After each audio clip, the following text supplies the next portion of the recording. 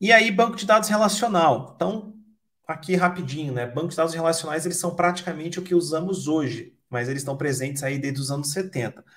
Cara, banco de dados relacional, pensa o seguinte, como se fosse, deixa eu tirar minha cara aqui um pouco.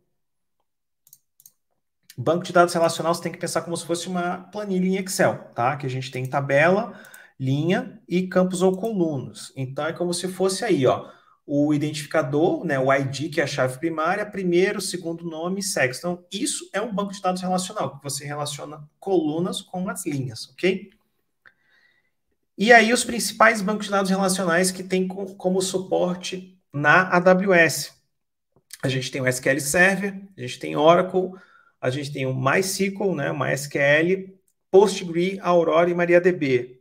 Guilherme, eu preciso saber todos? Não. Isso aqui é para você entender que você pode subir esses é, tipos de bancos de dados, tá? No RDS, que é o serviço de banco de dados relacionais na AWS.